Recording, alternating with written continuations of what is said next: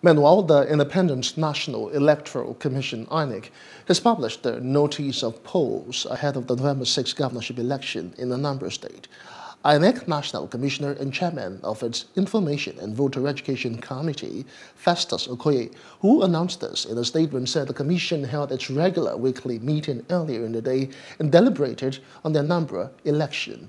The Commission also appreciated the role of religious, traditional, and security leaders in the state, as well as civil society, social cultural associations, and the media in appealing for peace during electioneering campaign and election day activities. Hello, hope you enjoyed the news. Please do subscribe to our YouTube channel and don't forget to hit the notification button so you get notified about fresh news updates.